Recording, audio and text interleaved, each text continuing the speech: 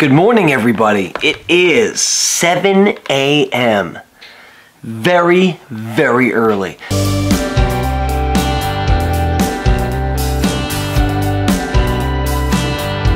Didn't quite work out as we had hoped. Some of these things had great highs, some had big lows, some of them flatlined. Trust, whatever the idea, it's like, does it bring people closer to music?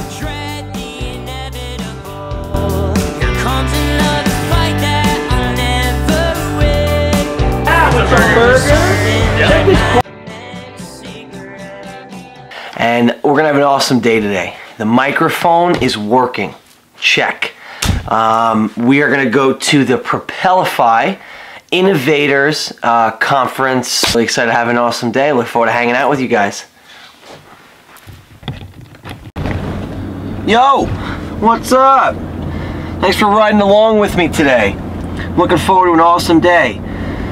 So we're going to this event called Propelify, who I was invited to by a, a guy that I met um, at the event Speak Like a Leader. The Simon Sinek workshop named Magnum. What a badass name, Magnum. His name's Mags for sure. And we are gonna have a great time meeting a whole bunch of people that are in startups, um, different ventures, and talk about some of the new things we got going on, meet some new people, make some connections, build some relationships, make some new friends. Nothing in life, in my opinion, is more important than relationships, meeting new people, and learning new things. So I'm looking forward to hanging with you today, and we're gonna have a great time. Later! So we're gonna have a ton of fun today uh, at this event, Propelify. I'm looking forward to it. If you need anything, if you need anything, yeah, if you need anything, just uh, give me a shout and I'll come right over. What the hell am I saying?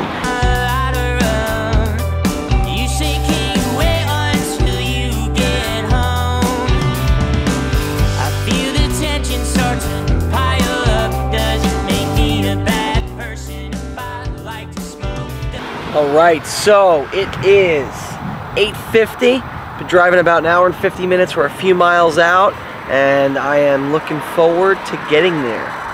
And we're gonna have a great day together.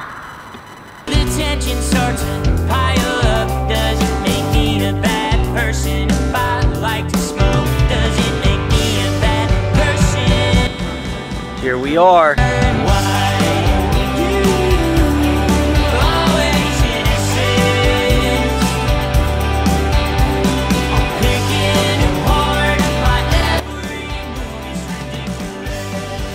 What up? Mags and Braulio? Braulio. Braulio. Yeah. Where you guys from? Where are you guys from originally? Brazil. Brazil? Yes, Brazil yeah, also. Brazilian. Muito bem. If I don't, if I don't actually, you know, if I don't actually uh, find something at my job Right. that keep, keeps me engaged, you know, I, I get bored. The challenge is, you know, most people their whole life they're taught to make money by having a job. And if you have to trade your time for dollars and trade time for money, no matter how much you make, you know, you can make millions of dollars and make a ton of money. But the challenge is you can never stop doing it, so you never have ownership of your life. So, and what happens is when you have to work 40, 50, 60 hours a week, you don't own your life. You're a slave to whatever you're doing because if you don't perform, you can't make money.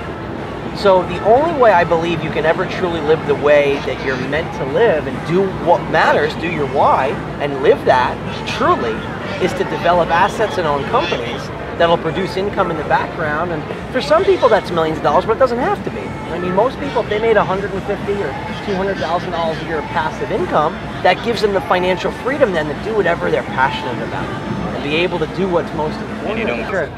Yeah, when you get clear, when you get clear on what you want and how you want to live, you know, it gets a lot easier, right? You know, you have a filter. One of the you big, get that tunnel vision. Yeah. I don't have that yet. yeah, the, the most important thing is to pick something. You Mhm. know, most people they spend their whole life trying to say, "I'm not sure what I want to do."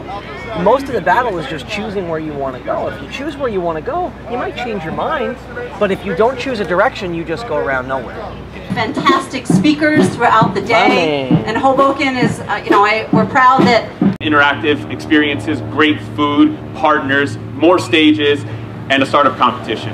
There's, I mean, there's no better way to be inspired and fired up and connect with like-minded people. So take advantage of this opportunity. I was I was nobody. I, he had no reason to be nice to me. I was new in the industry. Came beeline straight up. When to was me, it? Late 2010. And he just introduced himself, um, said hello, and wanted to get to know me, made me feel like I was the only guy in the room, and that's a special He's good quality. at that. He's very good at that. So uh, we just formed a relationship from there. He,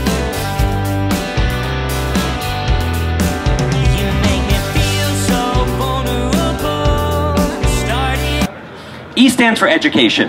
And the biggest reason why is that the people are teaching are not in touch with where education is going. They are not teaching the real world skills that people need to know. And it's actually the opposite. Most people go to college because they think it's the right thing to do. And when they come out of college, they are in so much debt that they actually can't pursue the dreams that they want to pursue to begin with. Meaning you have to go deep into an art or deep into a science. Because anything else is going to be offshored or outsourced to Costa Rica or China or you name it.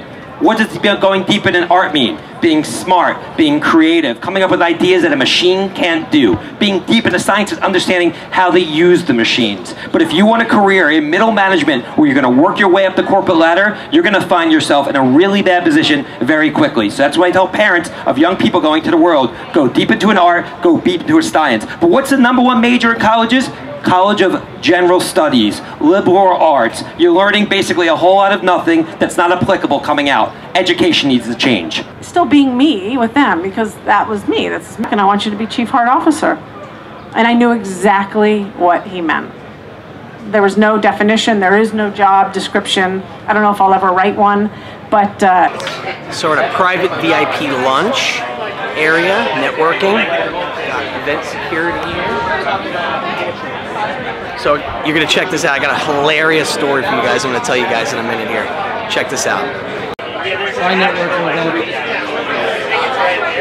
All right, cool. All right. So I'm here with my buddy Mark. Uh, he's gonna tell you about his, his- some stuff he's got going on, but you gotta tell him that story that just happened because that was the funniest friggin' thing that's happened all day. All right. So Anthony and I are sitting here in the tent right behind us, and we're talking about what's the value, the value of meeting connections. Because him and I have just been shooting for the last hour and a half, two hours, and it's been a really awesome connection. And then we talk about okay, what's the value of connections in these in these these networking events? Right, right. And you have all these people that just like you have one, two types of people. One type of per- person is like this, you know, you meet a couple people, you build a relationship, and it's awesome. You can meet up for drinks later. Then you have the other type of person, which this type of person is the quantity over quality. They are, hey, here's my business card. Hey, here's my business card. Hey, here's my business card. I don't give a shit about you. Right. Here's my business card. Yeah. What can I get from you later? Transactional, that's all that matters to me. Right, right. So I'm sitting here telling Anthony about a story that was four days ago. Sitting, it was very intimate atmosphere. A He says he's like there's 20 people 20 there, like a small event. small event, and out of the 20 people that are there, there may have been like two other people that were like actually genuine. It was just like, yeah, all right, I'll listen to what you have to say and not just wait for my turn to talk. So the one guy who was there, who was so 17 of those people were probably you know transactional, but the one guy who was there was all about oh, was just causing an uproar. He, dude, this guy kept asking. He kept like is the most transactional person I've ever seen. I actually saw him at an event two months ago, so I tried to avoid him at this event. Meanwhile, I'm telling, in the midst of telling Anthony this story. You're saying he chased me down. You're like, he chased me down out of the event. And he's like, hey man, can I have your card? And he's like, yeah, it's like, yeah, dude, whatever, you know, because he's a nice guy. So he's like, yeah. And the guy's like, yeah. And he starts like trying to sell him kind of some deal, like pitching something. So then at this point in the story, as he's saying that, Yes, as I'm saying, okay, here the the value of just the business card. As I'm saying this, who hell taps me on the shoulder but this guy? this guy's been sitting there listening to us, and I thought like he was just listening to our conversation, and he's like, hey, I'm that guy. now, that's not even the funniest part. That's like, what are the chances? The best part is this. The best part is, oh, you're the guy who's building the dating app. That's great. Let me get your business card. I'm actually have a project that we can leverage together. This guy, the whole thing that we're talking oh about. Oh my god. He did it again! He did didn't it even get his He shit. used the segue into the conversation that I don't give a shit about anything, and I'm gonna do it again. You know, like, holy cow. So it was awesome. The moral of the story Epic. is look out, look out for that dude. If Right. we can find him, Don't be that dude. Don't, Don't be that, be that dude, No, ever. absolutely not. having an awesome time here. Um, going to walk over to see Arianna Huffington speak now. Having a great time. And uh,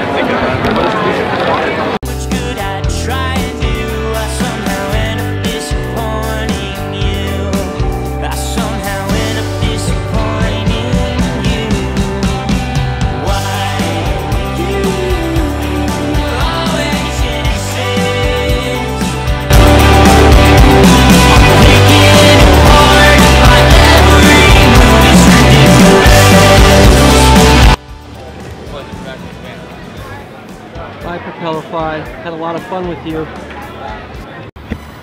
Had an awesome time at the Propelify event. Made a whole bunch of new friends. Was a blast. I'm talking to the most famous person of the entire vlog, the most important person in the world, Callan Davis. Callan, what do you want to say to your fans? Well, you just called me Callan Davis. Oh shoot, did we get divorced?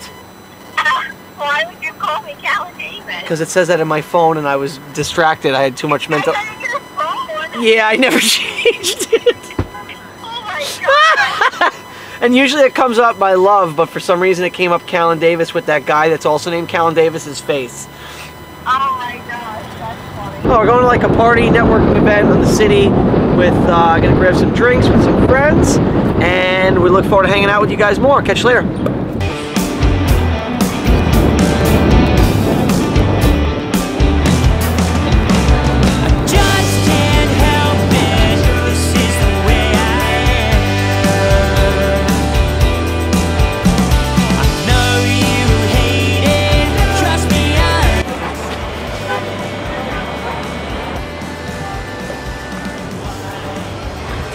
Love halal food.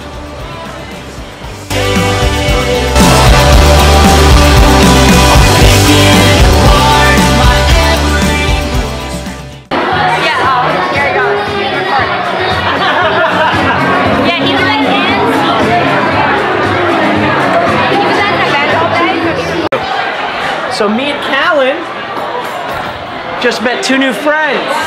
With some burgers. Yeah, with some burgers. Yep. Check this party out. I'm good, thank you. It's a badass party. You guys having Yeah. fun? Yeah, we're having a great time. Making it rain? Making it rain. You guys have any like special impression you want to do, or That would be Frank. That would be me. Uh, you got anything on shoot, the you put me on the spot. No well, pressure. I guess like one day I'm gonna have to commit to making videos or doing something.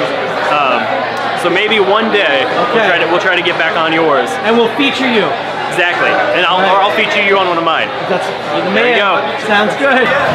Lay it on me. What do you want to say? Cheers.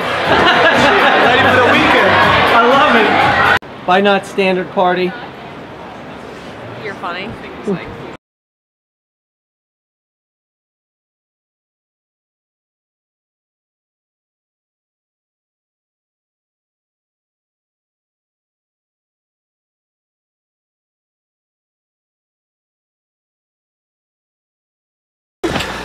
Hey guys, just wrapping my day up, about to go to bed. Wait a second!